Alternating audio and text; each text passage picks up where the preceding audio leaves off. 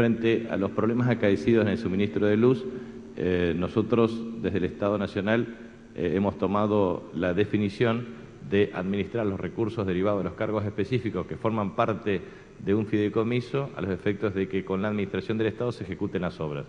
Se inician con cinco obras ahora, pero que se pretende hacerlo en forma rápida, sistemática y principalmente en los lugares de mayores problemas relativos.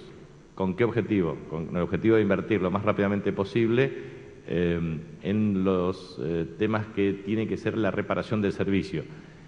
Concretamente, las empresas han manifestado, entre ambas, que el programa de inversión necesario eran aproximadamente 4.000 millones de pesos. Nosotros queremos que las inversiones se hagan ya.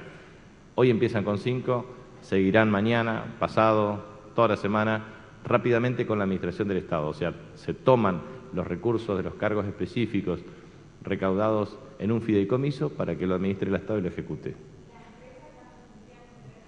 Las empresas han demostrado su incapacidad para la ejecución de un programa de inversiones para satisfacer la demanda de los usuarios.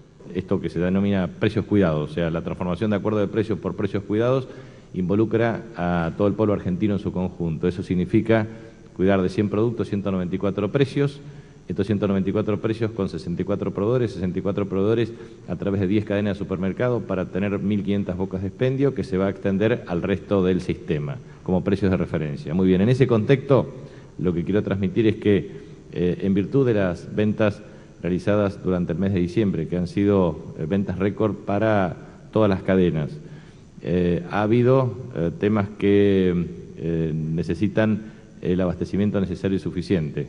toda la logística, el tema de los feriados y las ventas de diciembre han implicado la necesidad de que en el transcurso de esta semana se garantice efectivamente la provisión de todos los productos. Pero es bueno hacer la supervisión y el control.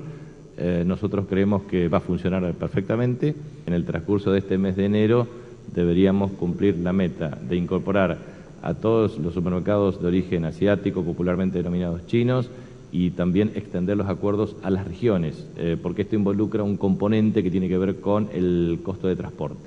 Eh, en ese sentido, eh, objetivamente nosotros pretendemos que se haga lo más rápidamente posible. Si es en el mes de enero, tanto mejor. Y ese va a ser el esfuerzo porque implica la coordinación de muchas partes. usted calcule que las bocas de distribución de todo lo que significa supermercados asiáticos, de origen asiático, aproximadamente son 10.000 bocas.